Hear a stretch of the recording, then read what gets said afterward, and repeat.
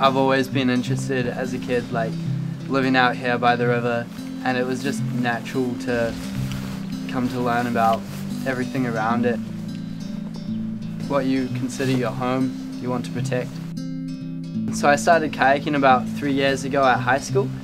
Um, I did the outdoor education program at Howard College and they've basically trained me up from absolute noob into uh, whitewater instructor and rock climbing instructor.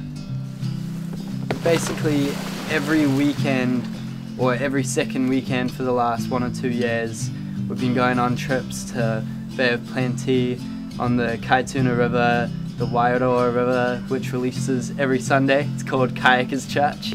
There's just something about like turning in fast moving water that's just exhilarating.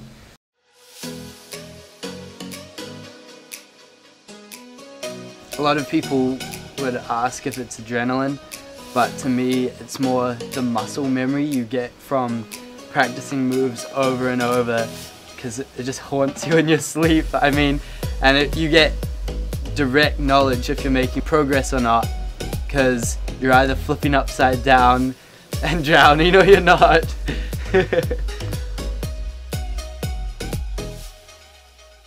you're thinking about which way to lean, which paddle stroke to take, and often, like when it all comes together, it just feels so good when you get it right.